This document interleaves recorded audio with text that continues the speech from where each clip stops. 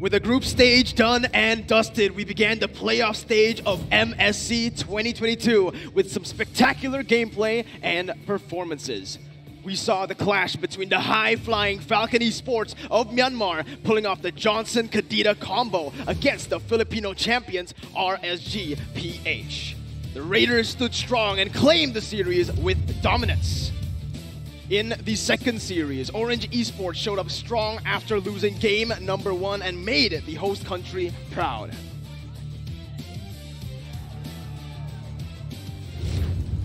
It is another big win for the host country where Todak sent the defending champions to the lower brackets. It is going to be Todak dethroning the defending champions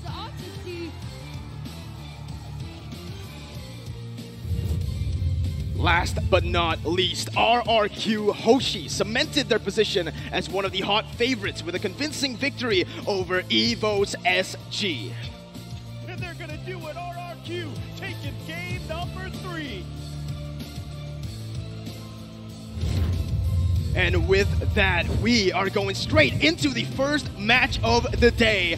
RSG SG takes on Falcon. Will the home ground buff help Todak to overcome Indonesian powerhouse RRQ Hoshi?